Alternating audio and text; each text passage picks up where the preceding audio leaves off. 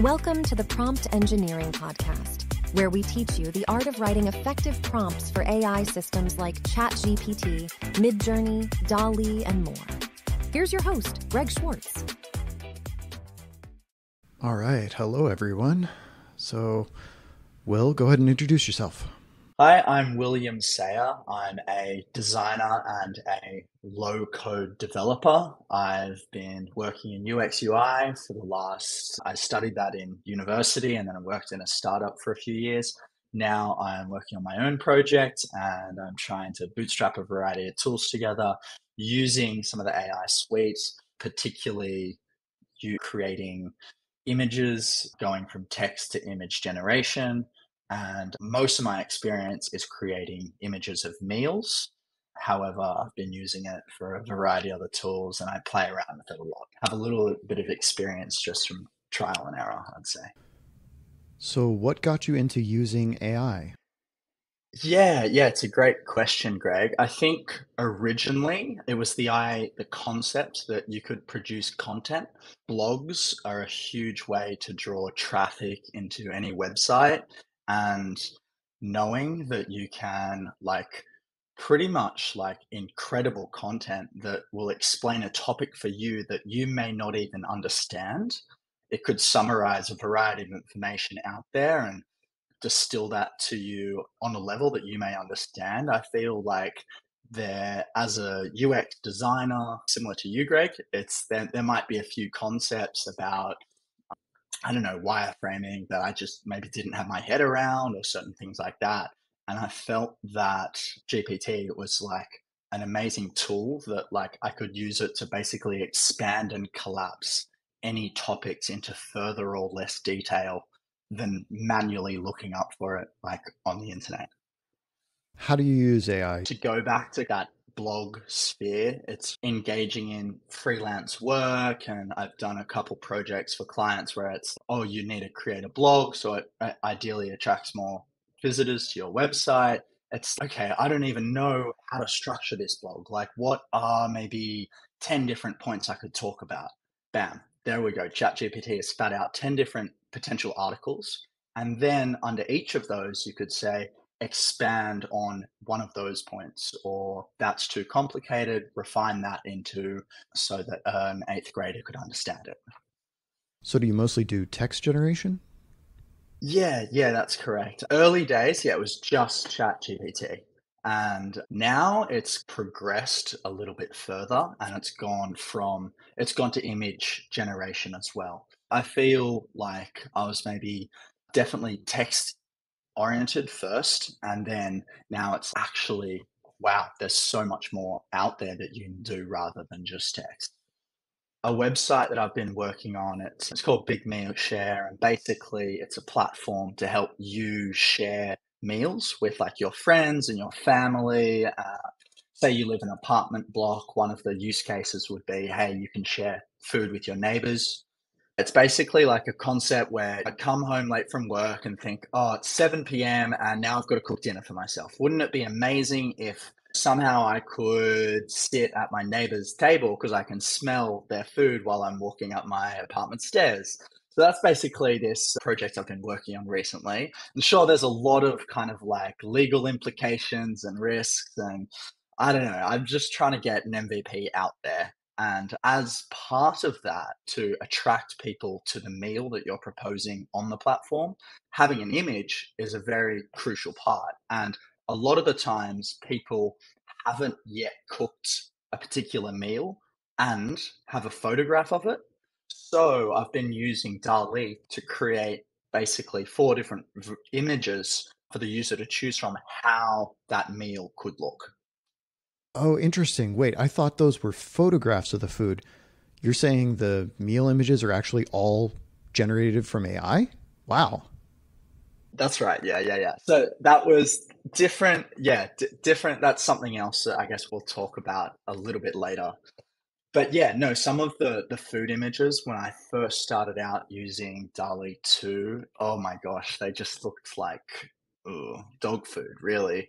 And I think that was yeah, so who's going to RSVP to this? when it looks like that. I think something that really helped improve my prompt prompting on that regard is like studio lighting, defining a specific type of camera, maybe Sony Alpha, defining a lens, just saying what the aperture is. And I feel like anyone who has a basic understanding of photography, that can come very simply for them, whether you want aperture blur or that bokeh in the background or does in image blurry or crisp, just a basic understanding of photography there goes a long way towards the final image and how it looks.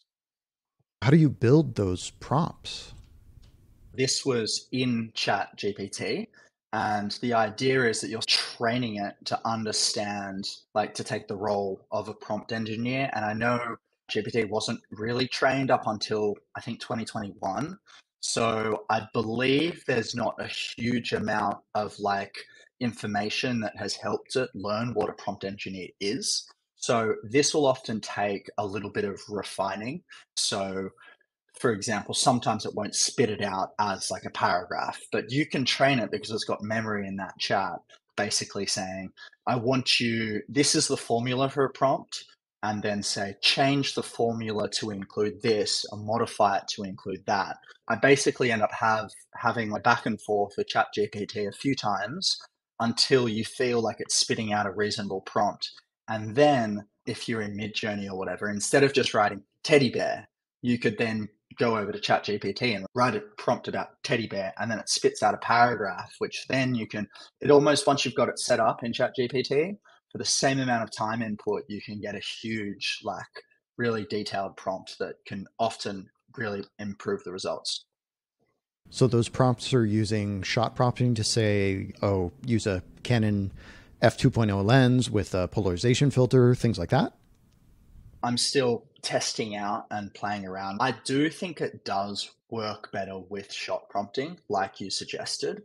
However, I think there are some scenarios where shot prompting, like the information that it's been trained on, maybe that shot prompting can be a little too specific and maybe it doesn't have, maybe there aren't that many photographs on the internet with a Canon 5D Mark III using a 70 mil lens at aperture 5.6.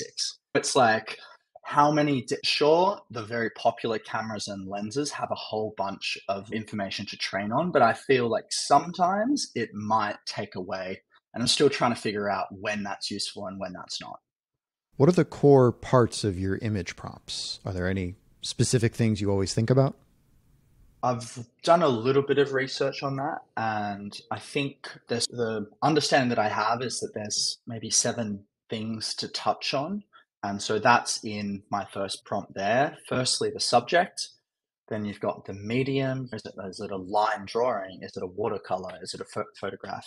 The environment the lighting, the colors, the mood, and the composition. And sure, maybe mood and lighting overlap a little bit, but I feel like having these words in there really help, uh, especially if you're going from ChatGPT into Midjourney. When you're creating that prompt in ChatGPT, for example, the the composition, right? I may say, give me an image of a pirate.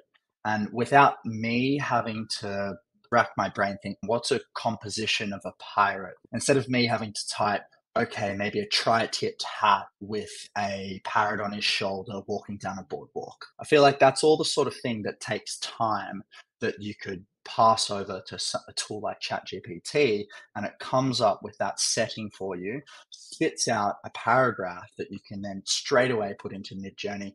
And that time to iteration just is so much faster and you can get so many more images and you're like, oh, I noticed one thing in this image that I love, something else in that image that I love. And then if you're creating, say, a hero image for a website or something where you need it to be picture perfect how you want it, I feel like it's great for you've got all those bits of inspiration that can now come together. Got it. So it's describing all the parts. So I'm curious, there's been a lot of controversy around people making images in the style of a popular artist. How do you feel about that? I feel like it's very popular for people to say in the style of Monet or Van Gogh or whoever it may be. And I feel that brings up a whole new discussion of do we have their permission? There are famous, there are famous like current living artists who do digital art. And then if you say in their style, if they put enough work out there, sure, Midjourney can replicate it. But then I feel like there's that you, have got to feel that maybe you've referenced that artist if you're going to produce that piece of work or I, I think that's a blurred line that, that we're still in the very early days. We don't really know how to address this just yet. But it's worth pointing out and to feel that, like, maybe I'm not going to specify an artist by name to copy their style because they've spent 20 years of their life figuring out how to write in this, how to draw in this particular style. Do I feel morally okay to just copy that? So that's something worth keeping in mind. I definitely know what you mean sounds like you don't use artist names in your prompts. I've definitely done that, but for my own personal, just like curiosity. I feel like as soon as you start making money from something, then if you've got their permission, sure. I heard about Grimes announced that if someone wanted to create like an AI version of some of her music, then she would expect she's happy for them to go ahead and do it, but as long as 50% of the money that they make that they give to her. So I feel like at least contacting the artist and say what you're using it for is an important step if you're using it commercially. Oh, interesting. Do you think that'll help or hurt her brand? Good question. I'm sure you've probably seen or heard of the AI Drakes and the AI Kanye's, and it's it'd re- be really interesting what it does for their brand, like whether they allow other people to create music, because it's almost like it could potentially help them grow. But yeah, I don't know. It's, it'll be really fascinating to see what happens. So, what AI tools do you wish existed? I use a variety of no code tools, right? So Webflow is one of them, Figma is another. I use Airtable. I use a variety, and if people aren't familiar with them, that's fine. I feel like there's a whole there's a whole suite of no code builders that are available out there these days, and I feel like sometimes there's a very simple thing that I just don't know how to do. And if I would love to be able to describe to some sort of AI agent how to use a particular software for me. So, how it gathers that data, I'm a little unsure. Maybe if it did screen recordings or say, for example, Figma, maybe we can use that for an example because I feel like a lot of people in the audience might know what Figma is. It's, and for those who don't, it's just basically an online tool that you can draw up wireframes and digital designs to help design for like screens.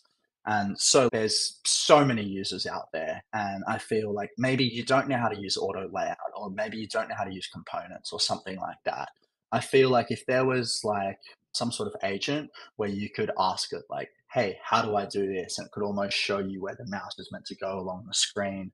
How it gathers that data is another interesting question. But so I think something like that for people who are new, because I, there are so many times where I've been caught up on one little thing and I know if I was a professional, I'd be able to do this in 10 seconds, but I'm sitting there for an hour trying to figure out how to do it. I think one of the big benefits of AI is that it's democratizing a lot of these services. For anyone out there who's just got inter- like access to the internet, I feel like what they didn't know before and what was only possible by big companies or agencies 10 years ago, they now have all this power so that all these sort of small indie hackers builders can bootstrap a variety of tools together and make services that can address niches that maybe there wasn't the market value to address before. So I feel like we're going to be finding a whole bunch of these software services popping up to address tiny little issues that maybe we haven't been able to address before. So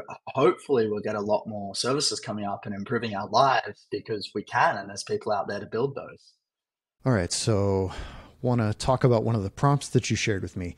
This is a little long, but I want to read through it. So, capture the essence of innocence and purity in a hyper realistic portrait of a baby that transcends reality. Every minute detail is meticulously rendered, revealing the softness of the baby's delicate skin, the wisps of fine hair, and the sparkle in their wide, curious eyes. The lighting is masterfully employed, casting gentle shadows that enhance the three dimensional quality of the image while highlighting the subtle contours of the baby's face. The color palette is expertly balanced with a natural yet vibrant rendition that brings the portrait to life. The mood of the photograph is tender and captivating, evoking a sense of wonder and enchantment. The composition showcases the baby's captivating features as the focal point, while incorporating elements that accentuate their vulnerability and beauty. This hyper realistic portrait of a baby is a testament to the photographer's skill, artistry, and ability to capture the fleeting moments of early life with astonishing precision. Its remarkable attention to detail and emotional impact make it a strong contender for a prestigious photography award. Wow, that's a lot. I'm particularly impressed with a couple of pieces of that, like the transcending reality part. How did you come up with that? Yeah, I think uh, you're exactly right. That's exactly what I put into into ChatGPT, baby. After a few back and forths with creating the Midjourney formula, that all you have to do is put in baby portrait, and then it comes out with something like this. I think when it says that transcends reality, maybe there are little bits that are lost on Midjourney, and it won't quite be able to capture everything that's in that poetic description, and it might be a little bit over the top but it certainly saves the user time in terms of like for me to write so i don't even know if i'm capable of writing something like that to be honest. Some of this is probably lost on midjourney and you do want it to be a little bit concise uh, m- more concise like this and when i was reading through that prompt i was like hmm maybe i need to refine the agent a little bit more so it takes out some of that language but i think that just goes to show an example of what something that it can do Wow. Okay. Still seems long and uh, a lot of lot of adjectives. Definitely. Do you think that's something you should shorten? Huh.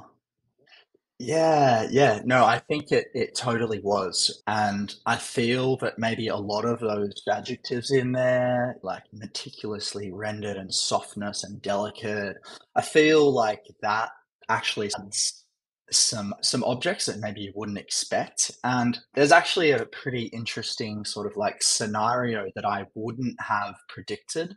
Something that that happened before was i was experimenting with these prompts and i was like what will happen if i if i say lego as my input prompt to chat gpt and so what it did is it actually ended up spitting i was it described setting the aperture of the camera to one it maybe f-stop 4 and changing the shutter speed to this and this. And I feel a lot of the language that it used in the prompt was to do with the photography style.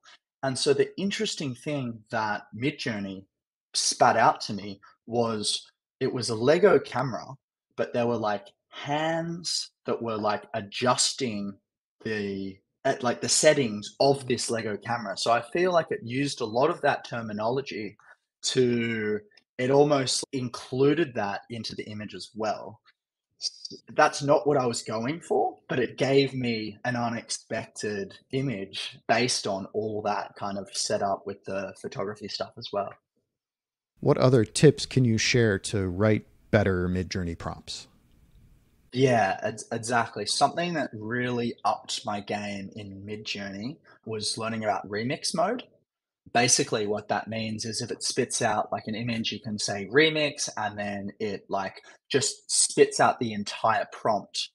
And then you can just fine tune a few little things in that prompt and then it'll go and tweak that using those little changes. So that was something that i guess uh, really helped with midjourney. And sometimes i feel like you can use ChatGPT to create a whole bunch of creative scenarios and run those for a few times. But once you're happy with the direction that you want to go down and fine tune something a little bit more, maybe that's where you just change a few of the words in in Midjourney.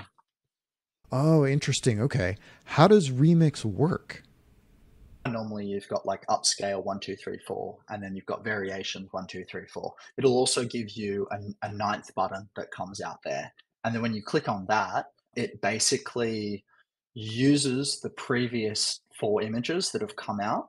And instead of just saying, give me a variation of one of those or upscaling, it'll now use what you, it'll come up with a text input and you can put certain things into that. And then that'll consider that and apply it to those four different images. I, I didn't learn about that until recently, and I feel like the, the space is always changing, and it's it's just it's really exciting to hop on Twitter or YouTube and just every now and then just see just watch tutorials by other people what they've put out there, and I feel like that's sometimes the best way to stay on top of knowing how, what works. Got it. So, what projects have you shipped, aka released to the public? Yeah, good question. I think the only product that I've shipped, it's still in its MVP mode, but I think I was describing Big Meal Share before. And so it uses those prompts, it uses four distinct prompts to generate images of meals. And so that's where it's at the moment. And anyone can go on and describe a meal, put in your date, your location, yada, yada, yada. You say who your friends are, and it'll send the invite to them and yeah it'll come up with these images which used to look like dog food as i said but now is including a few more of these type of photograph and i think award winning photography. That's one of my favorite catchphrases that i've been putting at the end of things recently. Studio lighting all that sort of stuff. I feel like that that really helps it look like a professional grade, which is almost it sets a standard for what someone's meal needs to look like now. So it, I don't know if it's a good thing or a bad thing, but it definitely will get people RSVPing. So do you share the art you've created on social media? In fact, I could actually see posting the meals to like Instagram or Pinterest to generate buzz for the site. Is that something you've thought of? Good point. Good point. Honestly, I've never been, I've never really taken photos on Instagram sort of thing, at least of meals more. I'm more, I just, cool times in my life. Maybe if a meal's really good, I will. But no, you, I, I feel like bringing that whole social element back into things. Like you can see how you can, if it's a cloudy day, you can remove the clouds from the back of an image, or if there's other people on the beach, you can just scrub those out of the image. So it's I think it's a really interesting space where we're going with all this social media because for some of the younger generations, like a lot of the socializing is done through these social medias, right? For everybody. And it's there there have been many times where I've met somebody and if I don't have the same type of social media as them, we just haven't clicked as much as like someone who would. I think how what, what you post is a huge visually, it's like a huge it shows who you are as a person. And the fact that we're able to like change so many things now it's is it leading us down this rabbit hole taking us further and further away from reality that's maybe one way to look at it or it's like you're creating this cool internet persona that's like an artistic way to reflect how you know you want people to think of you. I think there are pros and cons of all these sort of things and we're entering a whole new age of the unknown. So yeah it's it'll be interesting what happens. It's been awesome having you on the podcast. What are some ways people can see more of your art and follow up with you? Hmm. the instagram handle i use is will underscore straya s-t-r-a-y-a which is like australia. It's a bit of a play on the word. Uh, that's where i'm from you can probably tell so yeah, I, and I've recently actually been really getting into Twitter. So I, even though I don't really have many followers, I've as since I've moved to the Bay Area, it's I feel like that's where to get the news. And I've never really used it before, but I've been getting into it a lot recently, and I feel like it's a whole new world and, I love it. It's so interesting. Sure, there are some parts to both Instagram and Twitter that are maybe considered toxic or whatever, but I feel like if you use it in the right way, it can be a great source of information. My personal website is willsayer.com. And how about uh, the other project you mentioned, Big Meal Share, for the people that want to get together with their friends and share a meal? So that's bigmealshare.com and then uh, probably most active on the Instagram, which is simply the handle Big Meal Share. And then we've also got a Twitter, and then I'll be working on a TikTok for that soon as well. Yeah. Thanks for the plug. Awesome. Well, thank you again for coming on. It's been a lot of fun having you. Thanks for coming to the Prompt Engineering Podcast, podcast dedicated to helping you be a better prompt engineer. I also host masterminds where you can collaborate with me and 50 other people live on Zoom to improve your prompts. Join us at promptengineeringmastermind.com for the schedule of the upcoming masterminds. Finally, please remember to like and subscribe. If you're listening to the audio podcast, rate us five stars. That helps us teach more people. And if you're listening to the podcast, you might want to join us on YouTube so you can actually see the prompts you can do that by going to youtube.com slash at prompt engineering podcast. See you next week.